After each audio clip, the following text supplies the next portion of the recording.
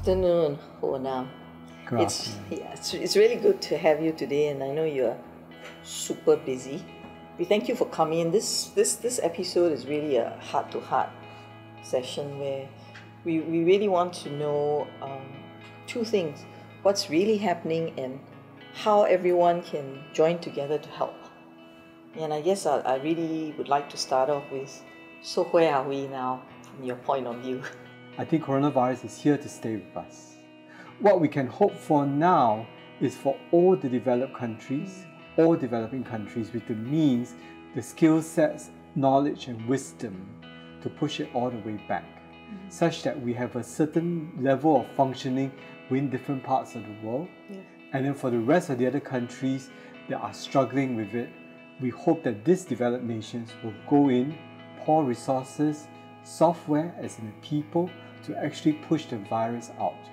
Eventually, I think the one that will save the day will be vaccines or treatment modalities which are undergoing trials at this point in time. It will take probably at least another 12 to 18 months before we see the virus whimpering away. But for the next six months, it will really be the entire birthing process.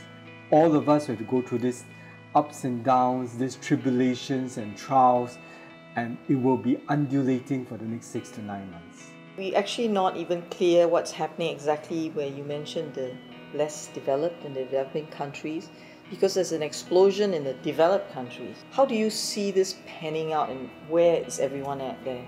How the world has to tackle it is to do it the same way as how Wuhan and Hubei did it. It's going to be a complete lockdown with minimal interactions with the rest of the people. This is just only the governmental mm. aspect. Mm. People must go down to search, isolate, and quarantine mm. infected individuals or those who have exposed to the virus. Only with these two tough measures will the coronavirus be controlled. But in the case of Italy, they were not prepared when the virus struck. The Spanish, as well as the French, they were not ready as well. On top of that, all the hospitals were never prepared for an outbreak like coronavirus.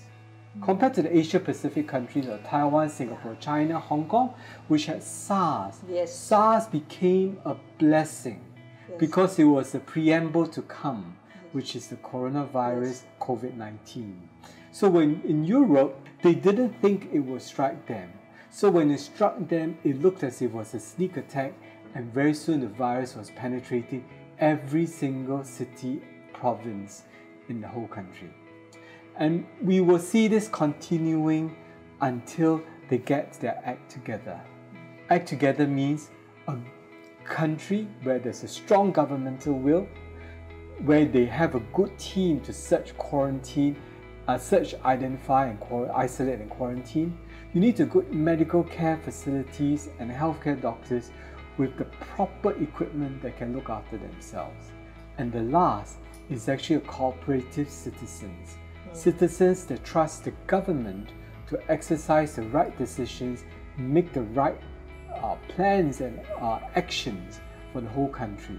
Only when all these four come into play can we effectively control the virus. Okay, in other words, you're really, really saying that even though vaccines are in the background, um, even treatment protocols, but the main thing, this virus needs to be contained and can be stopped if everyone works together with the same direction, in short. Spot on. We need to be in unison, we need to be one. The one is where the virus is the enemy, and ourselves on the other. We have to consciously work together to block the virus. Only then can we overthrow the virus. Hi, Danny. Hi, Dee. Good to see you. It's been some time. In some time. Likewise, likewise. I really like to hear from you. I mean, today is our session on heart to heart, meaning we can share anything that we feel will help anyone out there. Can I just start off by asking you, what are you actually seeing out there right now? I think we are seeing people who are struggling because uh, there's a lot of fear. I think this fear has got to do with uh, one uh, personal uh, impact where you don't know or we don't know whether we ourselves may come down okay with the COVID 19 infection. I think the other one is uh, loved ones. Uh, and I think it goes right down to even our work, uh, occupation, because some people are suffering because of it. You know, they have to shut down or the business has been very much reduced. I think the biggest stress and the biggest frustration is this, right? We really don't know how much longer this is going to be. You know, in, in most cases, when you have a problem, okay, we can define the problem and we can kind of see, you know, maybe what are the possible solutions and outcomes. Uh, you know, but I think in this particular case, uh, there isn't, there is a textbook, there isn't anything that's going to say, you know, it's going to go off in a month, two months, six months, you know, it's going to be here to stay. What do we actually do? Yeah. And I think people are all going through that uh, unknown uncertainty, and I think that that gives a lot of fear. Can you give me some examples from what you see in your families, schools? When, for example, you get a lockdown, uh, you know, it simply means, right, you know, you don't leave home, okay. right? You know, and people don't live in big homes where you have, you know, the one, two stories, so you stay on the first level, I stay on second. Most people stay in compartment, HDBs and flats, and, and, and we are going to be in each other's space, right? Yeah. And, and if we have problems, okay, that's going to be kind of like very much more attenuated. We're going to feel extremely stressed out with a person that you know we find difficult to communicate with, a person that we find we are impatient with, you know, and so on and so forth. And that will only multiply the whole effect when we begin to sit down, say for a week, two weeks, a month. You know, uh, it's going to be very, very difficult. Yeah. So emotionally, psychologically, you know, financially, you know, socially, professionally, we're all stretched. And when that happens, uh, the body and the system and the mind and the, the, the, the person can't handle that. We know many, many families that are actually quite stuck in a very small environment. Can you give us some ideas how to help all this? I think I think one good thing or one good way is to create space. Yeah. yeah? When I say space, you know, I, I know sometimes, as you said, you know, it can be quite tight to space, you know, yes. especially if you stay in a smaller unit, a smaller house or whatever, and you've got more people in. But perhaps, you know, we can mentally say, all right, you know, uh, this particular space when I need to work, this particular space when I need to rest, okay, it's actually my space, this is your space, you know, and we begin to respect those boundaries. So, you know, we kind of create new demarcations of, uh, you know, within the home a certain place that we want to spend our time or spend our energy and all that uh, to be able to to get things done perhaps you know. I think also space for me also uh, represents you know time alone a, a, time to recharge you know. The capacity to be able to sit down and say look you know uh, I need a break from everything. I need a break from you guys you know. I think a lot of uh, home mothers, for example, you know, one of the things, I mean, even before all of this, you know, part of their stress is like, you know, can I take a break from my children, you know? Uh, and all. So I think that kind of space, if we can try to creatively look into that, that will help actually. So you're saying just create those spaces. So for example, if you need to do your office work, have a space, kids, you go that side, husband and wife, we split up, grandpa, grandma, you stay on one side. But when we come together, we have the semblance of normality eat mm. together, but then we go back out to our space. Is that mm. what you're trying yeah. to provide? And also because also because this has been imposed very suddenly. Uh, human behavior requires time to adapt to change. So if we gradually go into a phase where we can see more of each other, that's great, you know. And I think for some families that may have had some struggles, uh, it actually, yeah, it actually kind of totally blows this thing apart and it allow I mean it creates a whole lot of tension a whole lot of problems yeah and and hence we need to be very careful because uh, learning from other countries that locked down uh, they have actually had a lot of family struggles yes yes Hi Ann. Hi Dee. It's good to touch base at this time. Yeah, nice to be here today. You know, in this session of Heart to Heart, for the COVID crisis, we, we really want to just focus on the healthcare workers and what you see. You're a mother, you're artist, you're a poet, you're a doctor, you came out of your sabbatical just to help out. What are you actually seeing there? my husband is a GP, and I heard from him that you know the clinics on primary care clinics on the ground, the GP clinics actually are quite short, uh, short staffed also. Um, I also have some close friends working in the emergency department, so I think I'm quite, I'm still quite in touch with a lot of my colleagues in the hospital, even though I no longer work in the hospital setting. And they have pulled doctors from you know the the wards, the regular wards upstairs to help to help the manpower at ED.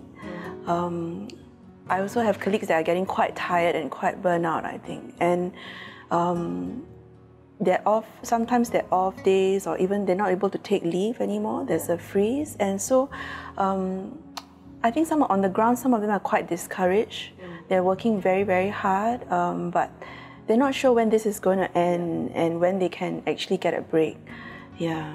So you decided to help out. in a small way, I took time out for my family and for personal health reasons. Um, so now I, I decided to go and do some locuming to help out in the GP clinics. lah. Is it because we've, we've really gone two months down into it and everyone's really exhausted, hardly thinking when it'll end? Or is it the separation from their families in terms of worry? What, what do you find is really, really bearing on the mind of, of these healthcare professionals? Or is it actually just being worried for the sick? Or it's all of the above? I think it's all of the above actually. Um, I think that everybody carries that fear. If not for ourselves, we are, we are young, we, if we get COVID, we might get through it okay. But some of us have vulnerables at home, elderly parents, or even children. And I think that's the greatest fear, especially And people you're who. right? Yeah, my, my parents are not that old elderly lah, but my yeah, but uh, they have their own health conditions. Yeah, and so I think that there is that sense of stress when people actually go uh, go to work. Uh, plus, there's been a lot of transition. Tell me, what do you think can be done by everybody else to help our healthcare professionals? It's not just the doctors who are at the front line, but we are all in this together. Everyone in the community, um, and while we go out, I mean, because we tend to be very industrious uh, people, no nation. So, um, and we need to do what we need to do. Um, but we also have to bear in mind that the person standing next to us or behind us may have family members at home who are ill, who have lowered immunity because of medical condition or certain medication they are on. So even if we have very mild flu symptoms, cough or runny nose, very mild, that such individuals are recommended to stay at home. Yeah, yeah. Dr. Ann is basically saying they have problems even before, whether it's old people with lung issues or they've got cancers and they're on treatment. Life is still going on for them. It was tough before COVID, it's tough now. And for the kids, um, it, it, in short, you know, people with muscular skeletal problems and breathing difficulties, nervous, uh, nerve issues, they are already having problems struggling. And again, there are children that have got cancers and the parents are keeping them alive with doctors' help at home. They cannot afford to catch COVID. So please, please stay at home for these people's sake. They are vulnerable and they need our protection. If you're not you're not feeling well, in fact, if you're even concerned you came across a person with that, just stay at home. It will really help the rest of us. I know you've written a lot of poi- poetry, poems. Um, you wrote one specially for this situation. Would you like to share that with us? Uh, let me read it to you. Yes. Um, okay, the poem is says, "Quiet streets, quiet places, once buzzing with life, now quiet. Bright lights shining from windows of previously darkly lit homes. Working in the office till late, home too tired to chat. Busy, noisy, bus, bus, bus. Now homeschooling and a warm huddle over family meals, like a long lost reunion, heart to heart. Time to connect once again." Quiet, cold streets, warmly lit homes, the echoes of conversations, the human connection multiplies, living on. Zooming hangouts, no excuse not to meet, crossing culture, crossing boundaries, woven by the buzzing electronics of technology, the net which brings us closer together, reaching across borders, hearts opening like flowers, finally a time to quieten down to care, to cry, to pray, to say to loved ones, How are you? Keep safe. To zoom across the borders, across the world, saying, How can we help? How can we help? One worldwide human family, human kindness seeping from the eyes of my patients, who seeing me decked in full PPE and say, Keep safe, doc, keep safe.